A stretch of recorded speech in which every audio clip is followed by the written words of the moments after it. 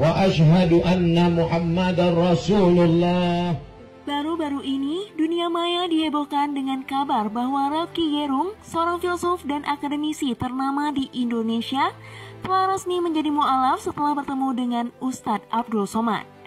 Kabar ini tersebar luas setelah Ustadz Abdul Somad mengunggah momen keakraban mereka melalui foto dan video di media sosial. Pertemuan antara Rocky Gerung dan Ustadz Abdul Somad terjadi di Pekanbaru, di mana sang filsuf dijamu oleh Ustadz Abdul Somad.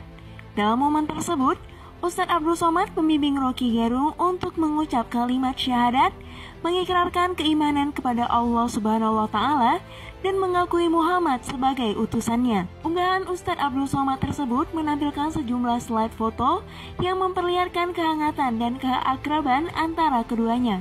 Terlihat jelas betapa dekatnya mereka saat bertemu menunjukkan keramahan dan sikap saling menghormati di antara mereka.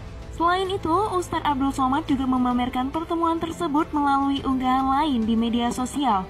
Dalam unggahan tersebut, Terlihat Ustadz Abdul Somad dan Rocky Gerung sedang berdiskusi dan bercanda, menunjukkan suasana yang penuh kegembiraan dan keceriaan. Kabar mengenai pertemuan dan perubahan keyakinan Rocky Gerung ini tentu saja menarik perhatian banyak orang, khususnya di kalangan netizen.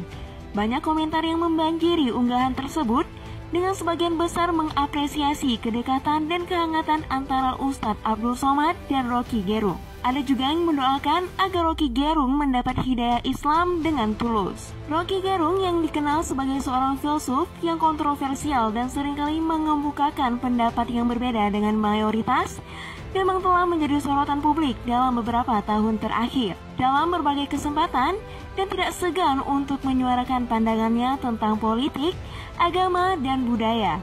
Pendekatan intelektual dan kebebasan berpikirnya sering kali menimbulkan kontroversi dan perbedaan di kalangan masyarakat. Keputusan Rocky Gerung untuk menjadi mu'alaf setelah bertemu dengan Ustadz Abdul Somad menunjukkan bahwa perubahan keyakinan adalah sesuatu yang sangat pribadi dan dipengaruhi oleh berbagai faktor.